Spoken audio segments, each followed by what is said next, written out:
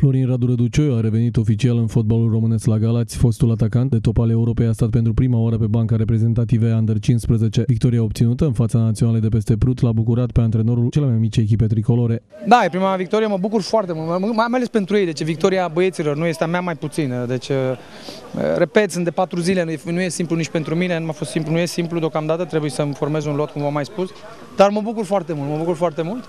Avem mult de, de, de muncit, de lucrat, e clar mai ales, mai ales la posesia mingei. Este cel mai important lucru în fotbalul de astăzi, a ține posesia mingei. Deci nu uităm că am jucat în 10. Eh?